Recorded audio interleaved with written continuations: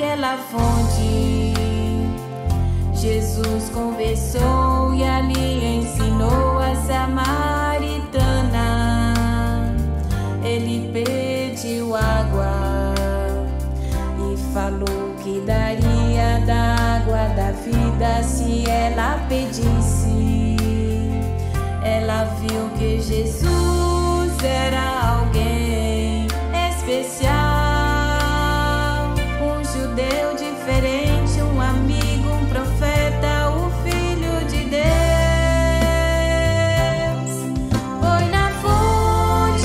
chacola.